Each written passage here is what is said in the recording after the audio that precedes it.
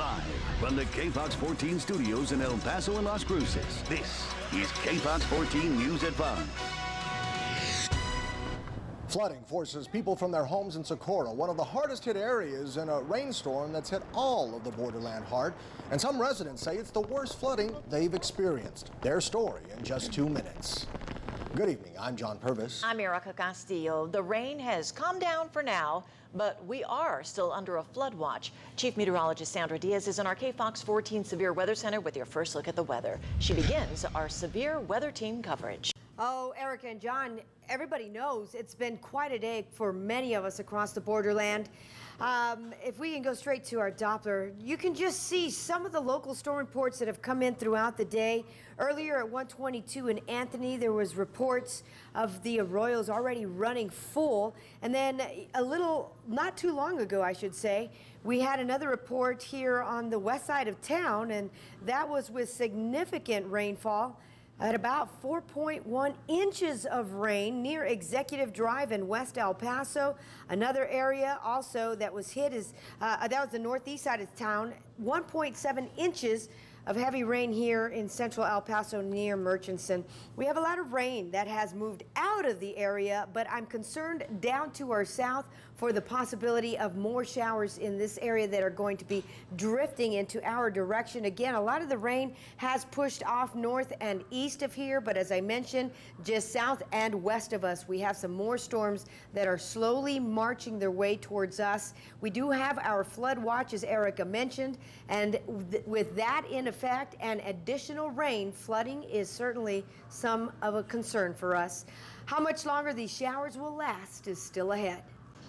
Water overruns a canal on Coker Road near North Loop after flooding burst through an arroyo. KFOX 14 News at 5 Stacy Walsh is live in Socorro to show us how people are dealing with the damage.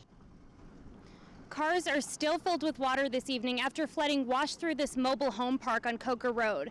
And people living here tell me their only option is to wait for the water level to slowly go down. Floodwater nearly splashes up to the doors of these mobile homes, forcing people to wade through their own yards. But I got a car I got to dry out and other stuff over there. My cat went flying out and ended up getting stuck in a tree. That's how bad floodwaters on Coker Road were this morning. It's a big mess. We can't get back there. It's pure sand, pure dirt. People are stranded there, and that's where we're hoping the National Guard can help us and reach those people. When I came back from dropping off my kids, uh, the fire department is there, and, and they will not let me go in. It kept raining throughout the morning. And when it finally stopped, the water left this stable owner near Coker Road with tons of sand to clear out, horses to move, and even road damage. My plan is for to, to start cleaning up and um, actually it was removing all the sand to, to go ahead and drive up here to the ranch.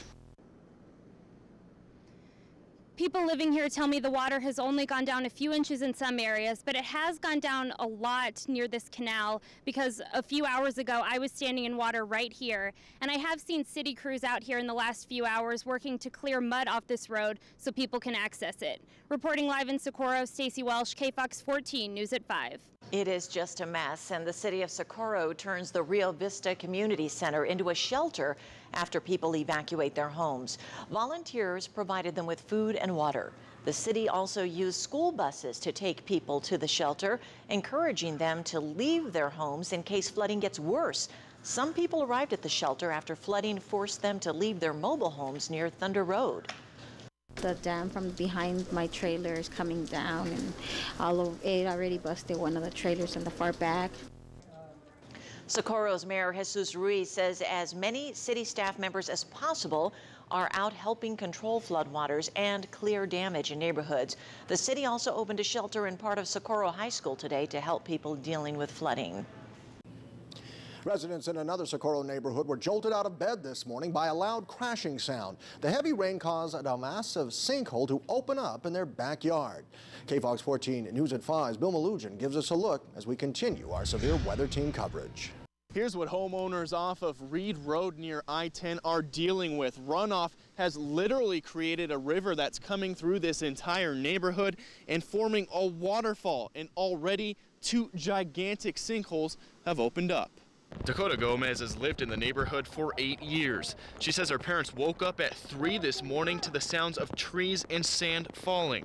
When they went outside, their trees, property, and an electrical pole had all been swallowed up by a large sinkhole. And an even larger one had opened up just yards away, turning what is normally a dirt lot into a waterfall. Homeowners immediately grabbed shovels to try and build a mud wall diversion for the water rushing into their neighborhoods. The city hadn't shown up yet, so the responsibility of protecting their property fell on their shoulders. I'm pretty afraid this is my parents' house behind us and there's a big sinkhole back there. We're pretty afraid of losing everything we have. It's really bad. It's really flooded. I think they already destroyed one of, one of my mobile homes. The people, the tenants down there are stuck. They can't get out and in and out. Now, I spoke with Socorro Mayor Jesus Ruiz, who is understandably having a very busy day today. And he told me the city's resources are already spread completely thin as they're trying to help people. And he tells me he hopes the National Guard will be able to come in to provide some extra help as well. In Socorro, Bill Melugin, KFOX 14, News at 5.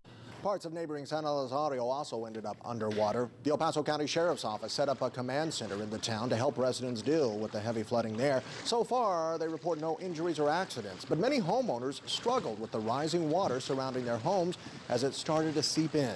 In 25 minutes, KFOX 14 News at 5, Genevieve Curtis talks to families impacted by the flooding. And while she was out there, KFOX 14 reporter Genevieve Curtis shot this video of some land in Clint looking like a lake.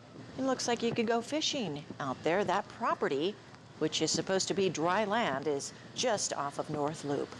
Our morning photojournalist, John Treffenstead, took this video at Zaragoza and Saul Kleinfeld on El Paso's far east side at about 10.30 in the morning. You can see the amount of rain as that car cautiously drives through the flooded streets.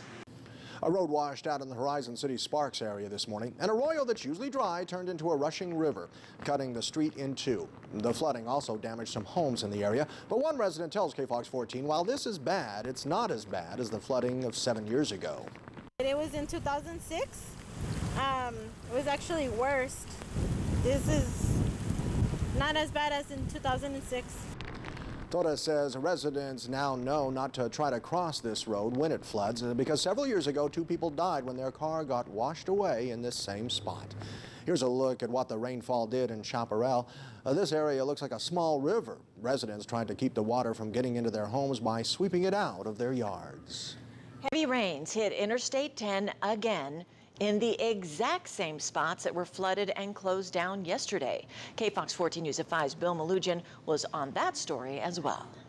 Well, we're here in central El Paso right now, and right now I am standing on Gateway West. It is completely submerged underwater as these heavy rains move through the area. If you look down the street, police have already blocked off Copia Street, and if you look on I-10 right here, traffic has come to nearly a standstill. Police have blocked some of the exits off, and cars are having a hard time trying to get through here as this weather just keeps getting worse and worse. If you take a look down the street as well, that's Piedra Street down there. I believe that's closed off as well. I can see some police lights down there, and if I'm not mistaken, it looks like one of the cars right here, that white car in that intersection, may have actually stalled out in these storm waters. Uh, I don't know where the driver is, uh, but it looks like that car has stalled out. So as of right now, this entire area just continues to be submerged underwater. Police are trying to keep some of these people safe by blocking off some of the exits, make sure cars aren't able to go through these areas, stall out, get people hurt. All in all, just severe weather, El Paso weather. Everybody says uh, it changes all the time, and I'd say that's pretty accurate. Reporting in central El Paso, Bill Melugin, KFOX 14, News at 5. We kept those reporters busy today. Parts of southern New Mexico are hit hard by this morning's rain as well. This is North Desert Boulevard near the Anthony exit at about 4.30 in the morning. You can see one of three arroyos in that area that was flowing since the rain began and how much water was going through it. Happening overnight, a woman heading south on Diana near Railroad tries to make a U-turn but that portion of Diana is split down the middle by a diversion channel. According to friends of the driver, she thought she was turning onto a bridge. Well, instead, the front of her car fell over the edge of the channel and got stuck in the mud. She, however, was not hurt. 70 families in Juarez have to evacuate when a reservoir in southeast Juarez overflows. KFOX 14's media partner, the El Paso Times, reports members of the Mexican military helped the residents evacuate. Juarez authorities say the families were provided with food and mats at a shelter set up inside a fire station in the Anapra neighborhood. You can count on KFOX 14 to keep you up to date on any severe weather, including advisories, watches, or warnings issued for the borderland, along with any road closures. And on KFOXTV.com, you can check out our interactive radar and live weather cameras. You can also find updates on our Facebook and Twitter pages. And with the rain comes a threat of West Nile virus. The El Paso Department of Public Health confirms its seventh case this season. The new cases include four women ranging from ages 48 to 70. This time last year, there were 18 confirmed cases in El Paso. Health authorities want to remind you to take precautions against mosquitoes, which can carry the virus. We have provided a link with information about the symptoms and prevention of West Nile at kfoxtv.com. Our weather's bad, but it's even worse up in Colorado where heavy rains have caused death and devastation. We'll show you a dramatic rescue that was caught on camera. Debris blocking more than just roads, the danger it poses for West Side homes. Russian leader Vladimir Putin shows off his editorial skills, what he has to say about a possible U.S. military strike against Syria in a New York Times op-ed column he wrote. And the discussion between a local senator and Mexico's ambassador about the Rio Grande. Next on KFOX 14, News at 5, coverage you can count on.